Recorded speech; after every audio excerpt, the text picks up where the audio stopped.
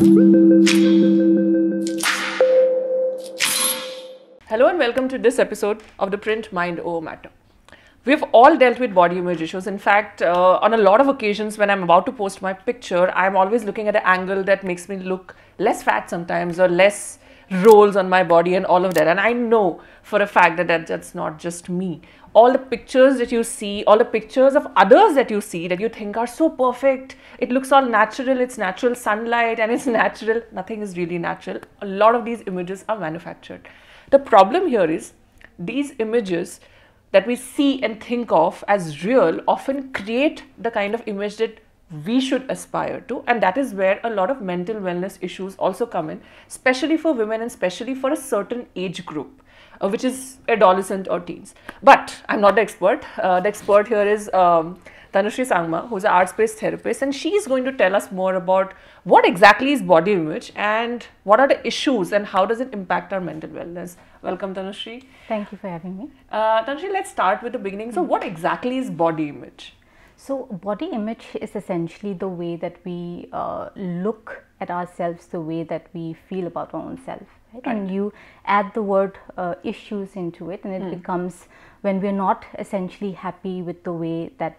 Uh, when I am not happy with the way that I look, or I am not happy with the way I uh, essentially is perceived, right? And these are all influenced by and measured against essentially parameters that are created societally, uh, externally as well.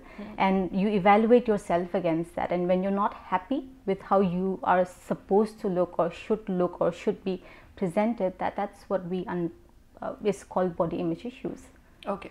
So we know that because of social media, and mm-hmm. in the last episode we actually talked about you know social mm-hmm. media and detox and all of it, and mm-hmm. taking that forward actually today, that a lot of these issues have become stronger for uh, youngsters, especially because they are a generation that started with a smartphone. You know, probably they learned how to use a smartphone before they learned their maths or ABCD. They see themselves only against, like you said, this other person of their age who mm-hmm. seems to look better somehow. Mm-hmm. And by better, of course, I mean that they fit into an mm-hmm. existing stereotype of how a girl or a boy or whoever it is should look like at a particular age or uh, you know the height and all of it.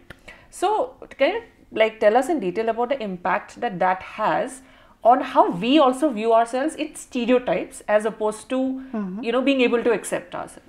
Yes. So stereotypes are essentially um, what is uh, inaccurately utilized to describe a particular group, and Right. what that really misses out on is the individuality aspect. When we look at the core of dealing with body image issues, it's so important to focus on the individuality of it. These uh, stereotype images essentially they can be uh, learned understood through whether it's through advertisements whether it's through projection uh, on media right? What you see your uh, favorite influencer your favorite uh, role model hmm. what they are wearing what it is um, what they are also portraying right? What it also does is that it creates a particular perception that this is what it is.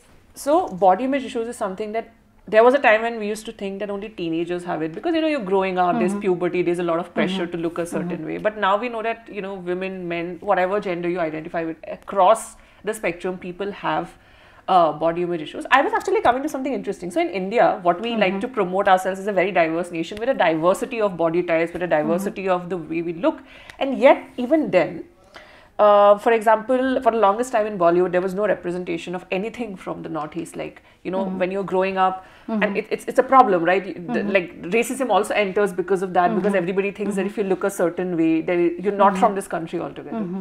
So, th- I feel like there's an external pressure to that mm-hmm. body image mm-hmm. question. So, I was wondering if you had any take on that, that how these regional differences mm-hmm. also get removed interestingly in a country like ours where again we come to a solid kind of where again for example look at our matrimonial ads. Everybody has to be fair. Everybody has to be slim. Right at least for women i mean that's like that has been that since ages. And how it's a big problem because we don't look at the regional specificities right? Brown is beautiful is something that has come now for example and that's like very recent very less i would say. So i was wondering that kind of the impact that that can also have on you know body image of let's say a kid who's growing up and who doesn't look in that stereotype and the problems. Yeah, yeah. So again, I, I think uh, going back to the point of um, uh, what is a stereotype? Right, the right. stereotype is that when you uh, describe a particular group uh, or an individual on the basis of uh, inaccurate representation of the collective group. Right. right? And what that also essentially does is that it negates the very component of um, originality, it negates the component of individuality, right? Even if I do belong to a particular region, it doesn't, uh, the perception is that um you're supposed to look a particular way, Right. right? That you're supposed to be, uh, the features are supposed to be this particular way. Right? What it, what that also again removes is the whole aspect of individuality. Right? Right.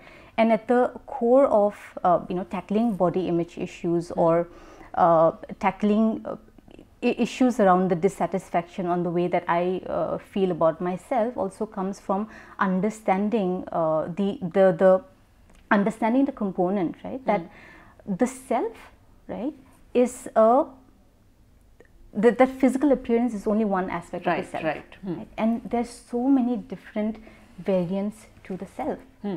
It includes your strengths it includes your abilities it includes your interests it includes your uniqueness right Hmm. and that's what we miss out essentially when uh, these conversations come up right? or this portrayal comes up rather and the the thing here is that because it's whether it's through exposure that's happening through discussions that you hear in your peer group or through discussions that you hear uh, or to let's say some comments that may have been passed uh, you know loosely or what you see in the media. What that also does is that you're i think somewhere to critically evaluate that it's also a, a con- constructed aspect right? And it's not really a depiction of reality on uh, the depiction of reality essentially. Right. So this is, I think, a very important point uh, that uh, Tanush has brought up. That the problem with so much of focus on body image is important. Yes, of course, to understand what struggle somebody might have with their bodies, but also the problem is we somehow uh, stop going beyond the way we look. You know, physically. I think we stop focusing on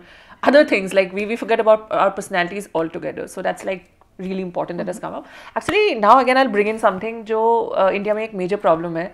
so let's say if you want to work out, like for your mm-hmm. fitness, so if you walk into a gym and you're a woman, and I'm only speaking from experience, the trainer, expert, somehow automatically assumes that you must have come to lose weight mm-hmm. because you don't fall into a, you know, that body mm-hmm. image type of this is what uh, you know a woman of this height and what, and it's not dependent on science, by the way. It's not dependent on even BMI. Even BMI now now I know is not the most accurate way of understanding somebody's body type, right? Health, yeah. But yeah, or health, right? Mm-hmm. Uh, but yes, you know, sometimes they automatically like, oh, let's just get you onto cardio. You should stop eating rice. You should stop eating carbs altogether. Mm-hmm. You do this diet, that diet. So I was coming to how body image issue and food consumption mm-hmm. also become linked together and impact our mental health actually. Okay. Here, um, let's take it in two parts, right? Right. One is in terms of let's look at from the person who Hmm. would have said that you know directly going to a cardio, Hmm. directly going to this exercise, stop eating this food, uh, Yeah. stop eating that, do this more often, right? Right. Or uh, you know, losing weight aspect of it. We also need to understand that this narrative or Hmm. that perception or that idea, where is it coming from? It's essentially coming from what we are being exposed to, right? What we Right. believe are standards of um, how one should look like or how uh, the idea that at this particular age group um, this is what you're aspiring to right? And all of these are also created and constructed right? Right. now that's where that uh, perception again uh, you know that that's also influencing the interaction that has happened. So yes uh, and the, the second part of this is that body image and uh, the, the pressure of trying to fit in right, in a certain way that one should look mm-hmm. right? it has a lot of consequences. One of the major consequences is definitely self-esteem right? Mm-hmm. Another consequences is navigating relationships. Mm-hmm. And third is performance right? Whether you're if you're in school it affects academics. If your your peer relationships uh, if it, you are working then it will affect your work uh, life the work quality as well.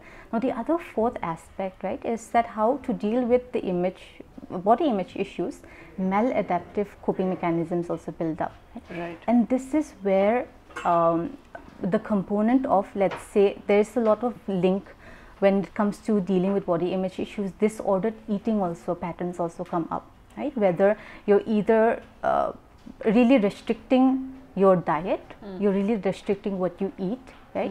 You're really either engaging in excessive amounts of uh, exercises and what's the intent behind that? It's again essentially to achieve that particular um, standard of image. Right? So yes, it does definitely impact the, uh, the the health aspect of it, and I think again, you know, going back into what are we missing out when we are engaging in this behavior, is that we're missing out the aspect that health has many different components to it, right? And what you eat or your diet is just one aspect of it. It's one, uh, it's just one component that can maybe perhaps impact the sense of self, uh, mm. the self-esteem, the self-image. Mm. So there is something that we often obviously now discuss about that there is fat shaming very obviously, but then there is also um, this idea that because I'm bringing up the food aspect of it, uh, you know, let's say if, if if I if I don't fit into a certain weight or I don't look a certain way, and let's mm-hmm. say I'm eating so-called fattening fattening foods, mm-hmm. then there is an immediate was like, are you really going to eat that?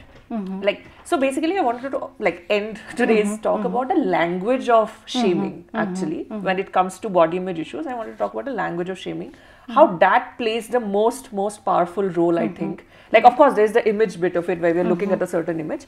But because you mentioned that there are other aspects of it. One of the most common aspects that we face in india i think desi families that we all like to joke about but it's a twin double-edged sword because it's also in families that you get a lot of this shaming Mm-hmm. right like if you're getting there oh you know we use these terms very loosely that mm-hmm. um, obviously is uh, embedded shame in mm-hmm. that term right mm-hmm. which then you start internalizing i mm-hmm. feel and i am speaking from experience by the way like this is something i've gone through mm-hmm. and i understand the impact it can have so i was wondering if you could tell us about how language plays such a crucial role especially in also creating body image yeah. Yes, so language definitely does play a essential role, right? Especially when we want to look at uh, especially when we try to understand that, uh, for instance, let's say a mocking comment on a post that you've done on social media, or let's say a very um, something that comes up in a general conversation. Let's say, you know, do a little bit of uh, this to your face, or do yeah, a little bit yeah. of that. You know, maybe do this a little bit more. I think what that also does, right? right. What that language also does is we the, the kind of repercussion it has, the kind of impact it has, especially with younger people, hmm. right, where the sense of self is still building. Right. It's a formative year, years of development where you're still understanding yourself, where you're still, uh, you know, developing your sense of identity. Right? Hmm. In those years, it does have a lot more impact because the because at that age, what's happening is, especially in adolescence, what's happening is that it's they tend to perceive it a lot more, give it a lot more importance than what it needs to. Right, right, right. So that's one component of where language can have an impact.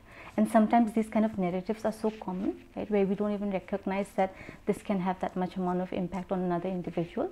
Even if it's if it's not adolescence, you go a little bit into young adulthood, it can still have that impact right mm. so when it comes to language there needs to be a lot more sensitivity in the way that we um, you know have conversations around the uh, uh around the same aspect whether it's in a normal day-to-day interaction that's happening amongst the peer or um, between uh, family members as well so that component of language definitely does have a, a impact on uh, you know let's say on, on body image issues and also to understand that uh, within when we look at verbal bullying right? What is verbal bullying? Essentially verbal bullying is when you are uh, it's bullying in the medium of when you say certain things or when you are mocking someone or you are um, uh, making fun of someone on the basis of the way that they look. And you are employing those language essentially in that. And what that language does is that it does have so much impact on the self. And like you said that it can essentially lead to a point where we do tend to internalize that mm. right? and give and which then impacts our sense of self-worth which then impacts our sense of self-confidence our self-esteem as well mm. so there's something that i have learned that i wanted to share with you guys so the next time you feel this urge to comment on somebody's appearance the golden rule is do it only if you think it can be changed in a minute. For example, they have something stuck on their teeth that can be removed in a minute. But if you're going to comment on the size of their teeth, that can that be removed in one minute? That can't, right? That's where you can start if you think you can't really immediately stop yourself from commenting on somebody's appearance The golden rule is you should never comment on somebody's appearance, by the way. But if you can't directly reach that goal, maybe start here. If you know that that's something that can't be changed immediately, that something uh, cannot be done about it, it's really not your place to talk about it, right? I think the person knows. I think the person can decide for themselves if they want to change. Anyway, we might not be able to change the narrative about body image issues entirely, but we can do our bit to start that conversation, and I think this is a good starting point.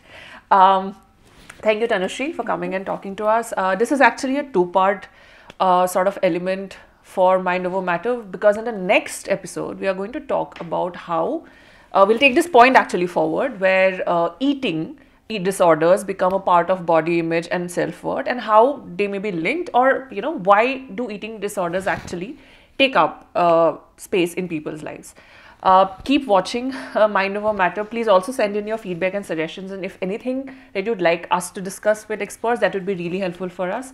In the meantime, do subscribe to our YouTube channel and follow us on our social media handles. Thank you.